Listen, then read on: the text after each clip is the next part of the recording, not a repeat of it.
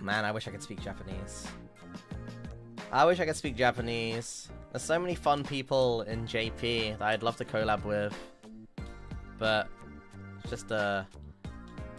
Like, I think I have the least Japanese knowledge. Probably. I mean, the thing is, right? Like, it's kind of... When we were playing PUBG, I don't know if you noticed, um, but there was a lot of times where, like, uh, Oliver and Fuwa were talking, but, like, like making a decision to do something or something like that. But I understood what they what they meant. So I was like, oh yeah, okay, let's go. Or let's do this. Or let's go there. Or whatever. I understood what they meant. But I, ca I cannot replicate it. Like, if I tried to replicate and say it myself in my head, no fucking shot.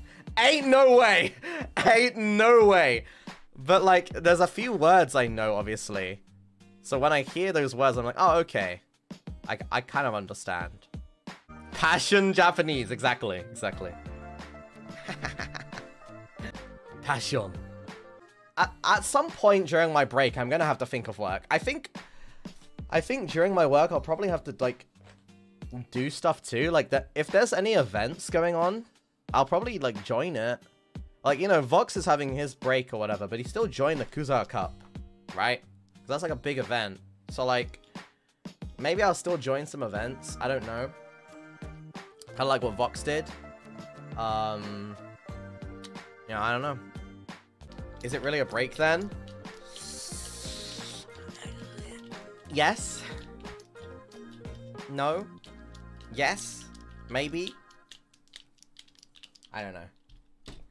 I don't know what a break truly is, to be honest. Casually join collabs, yeah. Maybe like, um... I guess we'll see. I don't really have much planned for my holiday. So it's hard to say.